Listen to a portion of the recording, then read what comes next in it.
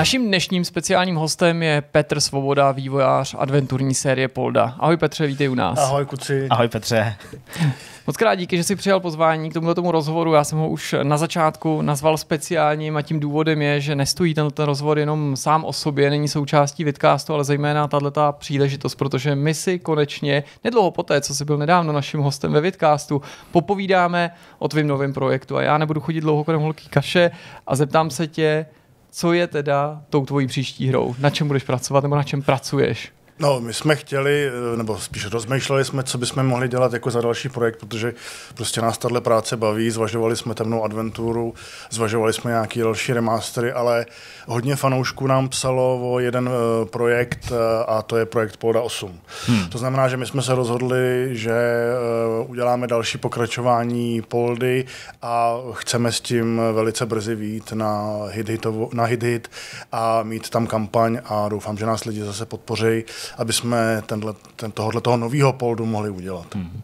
Ta kampaň je určitě něco, co teď bude eh, stát prostě eh, v popředí tvýho zájmu, eh, určitě i zájmu fanoušků, ale než bychom, nebo ne, než bychom, my se do toho ponoříme, do těch detailů té kampaně, tak ale když tady prostě padne polda 8, tak já samozřejmě chápu, že v tuhle chvíli nám nemůžeš říct v podstatě skoro nic.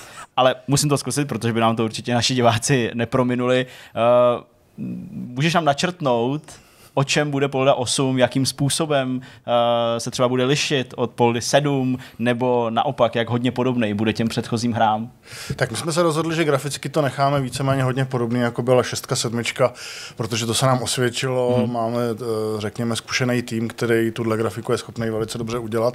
No a pokud je o příběh, tak uh, my jsme se pro tentokrát rozhodli, že už uh, opustíme úplně svět celebrit, hmm. že už mhm. nebudeme komolit celebritá jména a tak dále a uděláme takovou klasickou klasickou pátračku prostě ve stylu starších poldů mm-hmm. a mělo by v tom eh, jít o to, že uh, polda Pankrát se eh, někde v průběhu hry ztratí, bude unesen Aha, jasně. a uh, bude po něm pátrat Monika z předchozího dílu a k této Monice přibude ještě další nová zbrusunová postava, Aha. která té Monice pomůže a to znamená, že vlastně budeme hrát za celkem tři postavy. Mm-hmm. My jsme to koncipovali takhle i proto, protože jsme chtěli samozřejmě ulehčit Luďkovi Sobotovi, který, eh, jak všichni víme, už není nejmladší a ta kláda pro něj je vždycky strašně velká. Tak jsme se rozhodli, že prostě eh, Polda nebude hrát už úplně hlavní roli, ale chceme ho tam pořád zanechat. A je to vlastně i z důvodu toho, že my teďka, jak dokončujeme ten, eh, ten dodatek k Poldovi 2, Jasně. tak Luďka už budeme mít víceméně ve studiu a tak jsme se tak nějak předběžně dohodli, že by vlastně mohl nadabovat už tu svoji část v tom Poldovi 8, eh, která už z části je v podstatě skoro hotová. Takže mm-hmm. bychom to chtěli udělat eh, takhle zhruba. No. Série Polda to je z velké části právě Pankrác a výkon Luďka Soboty, se kterým si to fanoušci pojí od samého začátku. V minulosti společně jsme tady při této příležitosti mnohokrát mluvili o tom, že ten věk člověk nezastaví a že Luděk Sobota stárne. Je možný v tuhle chvíli naznačit nebo prozradit, jestli to bude nějaký symbolický rozloučení s pankrácem, jestli si připravuješ ty se svýma kolegama půdu pro nějaký budoucí poldy, ve kterých by právě ty vedlejší postavy převzaly tu hlavní úlohu? No Jirko, jsi velice chytrý kluk, takže máš no, Snažím pravdu. se. A je to tak, eh, v podstatě Polda 8 eh, bude rozloučení s Pankrácem, tedy s postavou Pankráce, kterou určitě eh, nechceme v příštích dílech použít a je to hlavně i z důvodu toho, že nechceme prostě dělat nějaký imitace hlasu a nechceme měnit Dabéra k postavě Pankráce, takže v podstatě můžu prozradit to, že ta nová postava, která se v té hře objeví, by mohla být v podstatě nástupcem Pankráce, hmm. pokud hmm. samozřejmě bude mezi lidmi o takovýhle krok zájem. Hmm vytvořit další díl uh, s tímhle vědomím, že uh, pan Sobota už jednoduše kvůli věku prostě není schopný točit prostě celou hru a postavit se za ní. To je samozřejmě něco, co podle mě v tvojí hlavě musí být určitým jako rizikem. A nebudu s tebe tahle ty detaily o tom, uh, jaká ta postava bude, nebo jakým způsobem třeba bude spojená s pankrácem, nebo to, ale připravuje se prostě na eventualitu, že hráči nebudou úplně naladěný na to, že prostě nebudou moc s tím bankrácem hrát tolik, jako byli zvyklí do posud. Případně, jasně, asi s tím počítáš, případně, uh, jak chcete jako posílit roli těch dvou postav? Dáte jim opravdu jako hodně velkého prostoru, nebo je třeba představíte jako, jako dvojici nových postav, budete už o nich takhle mluvit. Jak to jako koncipuješ v hlavě, tuhle těžkou věc?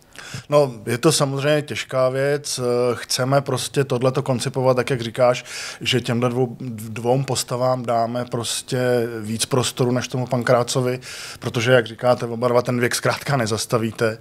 Takže eh, to chceme udělat tak, že eh, ty, tyhle ty dvě postavy a hlavně ta třetí postava by měla hrát potom časem v podstatě první housle, když to tak mm-hmm jsi vlastně v tuhle chvíli už ochotný mluvit o tom, kdo je ta nová postava, kdo je ten nový hrdina, nebo kdo mu třeba propůjčí hlas? Hele, to jsme zatím ještě, s tím hlasem jsme to zatím neřešili, máme mm-hmm. ve hře nějaký samozřejmě jména, ale uh, musíme si ještě nějakým způsobem vyprofilovat, jestli uděláme podobně bláznivou, jako byl Pankrác, nebo jim šoupne malinko jinam. Uh, ten scénář nám nějakým způsobem krystalizuje v hlavě, máme v podstatě hlavní dějovou linku hotovou, mm-hmm ale ještě jsme si úplně nevyprofilovali, jaký charakter by vlastně ta třetí postava úplně měla mít. Jo. To většinou vyplyne až potom z toho, co se nad tím párkrát sedneme, uděláme nějaký, jak se říká, tak nějak moderně brainstorming mm-hmm. okolo toho a, a uvidíme, takže zatím, zatím to není úplně ještě rozhodnuté. Ale samozřejmě nějaký jména už máme v hlavě, eh, co se týče dabérů, ale musíme se rozhodnout podle toho, jaký bude mít ta postava charakter. A nějaká základní šablona jí existuje? Myslím tím jako přibližně, kdo to je, i když jako nevíme přesně zatím, jaký bude. Je to nějaký jako skrytý, tajný, příbuzný nebo něco podobného, nebo prostě nic, nic takhle divokýho. No něco takového, no. Něco takového. Dobře. No, pánkrát byl prostě divoch, no to je no, jasný. jasný. To je jasný. Uh, kromě samozřejmě dubbingu Luďka Soboty uh, se série Polda vyznačuje mm, dubbingem uh, taky celý řady dalších známých českých herců. Tam předpokládám, že se asi nic nemění, že ne. máš zájem spolupracovat s tou plejádou těch, který používáte. Určitě, tam určitě. asi bude zůstávat. Super. Tak to je ten určitě... dubbing je prostě, ten dubbing, co si budeme nalhávat, je prostě alfou omegou celého tohohle projektu. Takže určitě dubbing chceme dělat opravdu zase s těma známýma českýma osobnostma a chceme, aby byl prostě co nejlepší. Jasně, jasně. Je možný naznačit, jaký lokace navštívíme, alespoň některý z nich, i když už třeba nechceš prozrazovat, o čem přesně to bude. Jsi říkal, že vzdálíte se těm celebritám a jejich světu, ale jako jaký místa, jestli třeba bude u nás nebo v zahraničí? Chceme hodně u nás to dělat, eh, to znamená, že bude, část hry se bude odehrávat v Lupanech, v naší vesnice, kde Polda prostě vyrostla, kde žil, ale eh, to jsem ještě neřekl, eh, chceme se tak trošku vrátit k, k myšlence, která byla v Poldovi 4, a sice, že ty naše hlavní postavy budou cestovat časem, trošku, teda ne mm-hmm. úplně moc, ale trošku. Mm-hmm. A e, jeden, jeden z dalších, e, jedno z dalších prostředí, který chceme navštívit, bude Starý Egypt. Aha, tak to, no, zní... tak to je, to je v zahraničí sakra daleko. to zní, to Ale zní... uvažovali jsme, uvažovali jsme i, u, i o rudolfínské době, kdy mm-hmm. vlastně Rudolf II. byl v Praze, jakoby, teď nevím, jestli císař nebo král, bych nebyl za úplný blbce, ale myslím, že císař. císař jo. Mm-hmm. No, takže, takže prostě možná i něco takového tam dáme. No, ale chtěli bychom to jako hodně, hodně v českém prostředí mm-hmm. dělat. No, to zní, to zní slibně a jako tenhle ten, uh, tenhle ten jako směr, zase to prostě brnknout trochu na takovou domáčtější uh, strunu, zní určitě fajn. Uh, pojďme se přesunout k té kampani. Mm-hmm. Uh, ta bude prostě startovat uh, v těchto dnech nebo v nadcházejících dnech. No, možná líp řečeno, že my to natáčíme dopředu, tak, ale určitě. v době, kdy diváci sledují tenhle ten rozhovor, tak s největší pravděpodobností ta kampaň už běží. My to samozřejmě v tuhle chvíli nemůžeme vědět úplně s jistotou, ale plánujeme to tak, že ten rozhovor Přesně. byste mě vy měli sledovat při spuštění kampaně.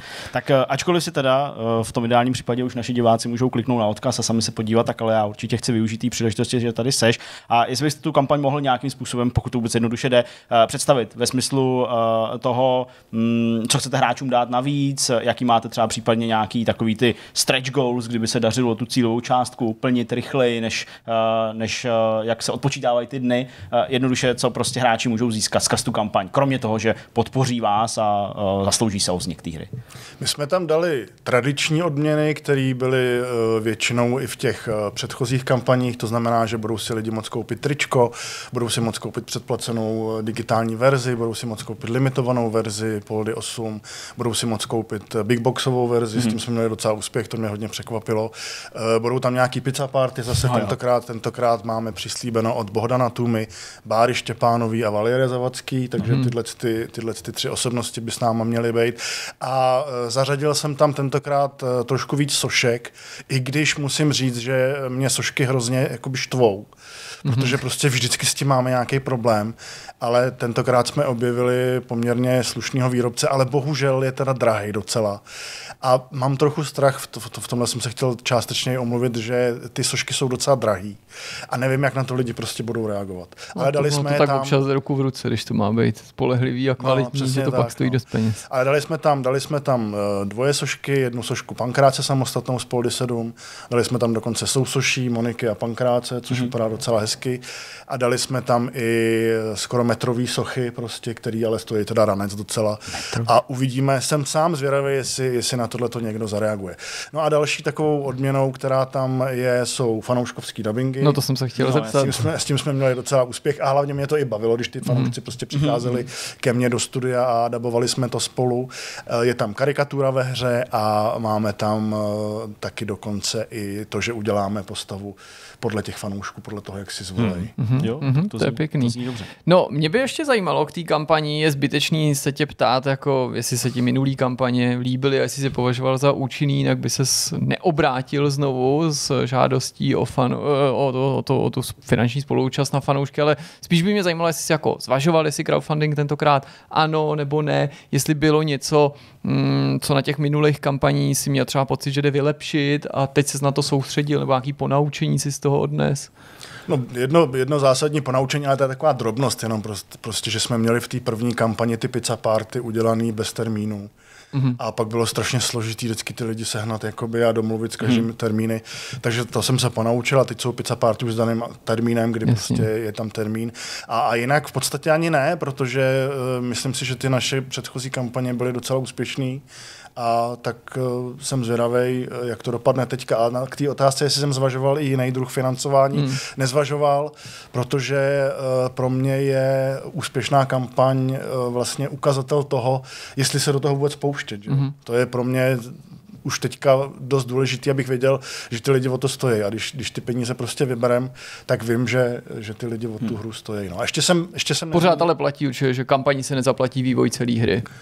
Teď jsme tam dali trošku vyšší částku, okay. aby, aby, aby, dejme tomu, skoro 100% nákladů jsme si, uh, aby jsme skoro 100% okay. nákladů dostali prostě z té kampaně. Uvidíme, jak to dopadne. No. A o jaký sumě se teda bavíme? uh, máme tam teďka milion 88 888, tedy aby jsme byli tak trošku jako polda 8, že jo? Tak... Jo, chápu. Tam je hodně osmiček. No, je tam dost osmiček. Ale mě se tam 8 mega, prostě 8 milionů. To, ne, to bychom vybrali zase. No ale byl mě bys tam osmičku navíc. No to bych měl, no.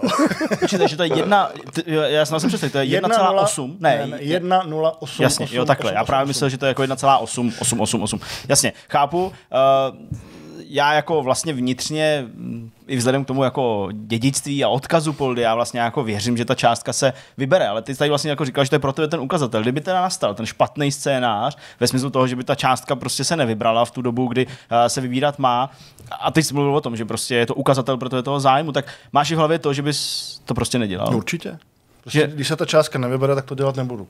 O tom jsem už naprosto stoprocentně přesvědčený a, a radši případně zkusím třeba nějaký jiný projekt, Chápu. který máme s, s mým kolegou Honzou Fialou v hlavě, to už by nebyla adventura, bylo by to prostě trošku něco jiného a spíš bychom šli touhle, tímhle hmm. směrem. Takže určitě by prostě Polda 8 nebyl, kdyby se Jasně. to nevybralo. Když vám naopak půjde práce dobře od ruky, za jak dlouho můžeme hru čekat? No, chceme ji vydávat někdy, je to, ono ten vývoj je docela dlouhý, jo, a než se ty peníze vyberou, než se to všechno nastartuje, takže Vánoce 2026, no, což je dejme tomu zhruba ten rok a půl, eh, na který jsme vždycky u toho vývoje hmm. zvyklí, asi takhle. A ta ještě vlastně druhá část spojená s tím, že když se teda bude dařit a ty peníze budou teda přicházet od těch hráčů třeba i ve větším množství, tak uh, ani nemusíš odpovídat, protože to jsou taky většinou takové jako blbý věci, nebo konkrétně odpovídat, ale máte připravený už právě takový ty, jako, co tam dáte navíc, když se vybere ano. tolik a tolik? Máme připravený teda jednu věc navíc, aby jsme se z toho zase úplně nezbláznili. Chápu. A když vybereme 1, 2, 8, 8, 8, 8, 8. Dobře, se mi to líbí, jak to. Je to, je to dobrý, no. tak chceme udělat, protože o to si lidi hodně píšou a uh, chceme udělat takovou, takový intermeco zase mezi poldou 5 a poldou 6, mm-hmm. tedy aby se hráč eh, dozvěděl, eh, jak se vlastně Pankrác vůbec tenkrát dostal z toho Egypta zpátky do, do Lupan. Takže mm-hmm. to nám hodně lidí píšou, že chtějí vědět a já jsem uh, víceméně bytostně přesvědčený o tom, že remaster poldy 5 nikdy dělat nebudu. Okay. Takže proto jsme vlastně uh, okay. dali, dali tady to intermeco nebo ten předěl, řekněme, Jasně. dali jsme ho prostě do kampaně na novýho poldu. Chápu. A když se dostaneme ještě zpátky k té nový plný hře, tak eh, pokud jde o platformy, budou tam nějaký změny a v těch termínech toho vydávání PC, to je mi jasný, nebo verze pro Windows bude určitě první, ale bude třeba společnostní verze pro Mac, nebo to bude až s nějakým vždycky spožděním konzole, mobily, cokoliv. Já už vzhledem k tomu, že jsem si engine napsal pro Mac OS, tak eh, hned při mm, vydání, při prvním vydání hry bude Windows Mac OS okay. a někdy, dejme tomu, plus minus s ročním spoždění bude Android iOS, takže tyhle ty platformy určitě můžu slíbit. Hmm. Žádný další platformy ve smyslu, já nevím, Switche a takovýhle? Hele, já o tom furt uvažuju, ale prostě zatím nevím. Jasně. Já na tohle to prostě neumím odpovědět. Jasně, to je, to je naprosto jako fair, fair reakce. Uh, je ještě něco k té kampani nebo k Poldovi 8, na co jsme se tě nezeptali, protože to nevíme a protože to ty máš v hlavě a, a chtěl bys to tady hráčům ještě říct, sdělit? Myslím si, že ani ne. Já prostě jenom chci hráčům říct, že eh, budu velice rád, když nás podpořej a když prostě eh, se nám ty peníze sejdou, aby jsme se tak nějak důstojně mohli v podstatě rozloučit s tím Luďkem Sobotou a udělat eh, prostě tenhle projekt, který si myslím, že by mohl být hezký, protože ten scénář za mě je docela pěkně napsaný, takže budu moc rád, když nás podpoříte. To je ale fakt docela pěkná tečka za tím tím povídáním, protože přesně potenciálně to může otevřít tu novou kapitolu, jak si o tom mluvil na začátku, předání pochodně, symbolický, nějaký nový postavy, možnost prostě pokračovat s tou sérií i bez Luďka Soboty, buď to může, být to může znít tak jako nehezky. A kdyby náhodou nový díly další nebyly, tak pořád to může být ano. jako opravdu hezký jako uzavření té kapitoly s Pankrácem, co by hlavním hrdinou. Přesně hmm. tak, přesně hmm. tak to je. Dobrá, jsme na konci tohoto toho povídání. My ti ještě jednou moc krát děkujeme za to, že jsi nás poctil svojí návštěvou. Rádo Samozřejmě divákům připomínám, že tenhle rozhovor určitě nestojí sám o sobě, ale součást nějakého článku, který ujde, najdete u nás na webu, nějakého kompletního představení a to podstatné, co jste si měli odníst z tohohle povídání, je spuštění té kampaně, na kterou určitě mrkněte a pokud se vám tenhle projekt líbí, tak ho podpořte. Tak jo. Tak eh, moc díky. Taky díky, mějte se hezky, nashledanou a, a budeme držet palce. Díky, tak. čau. Brzy na viděnou u dalšího videa.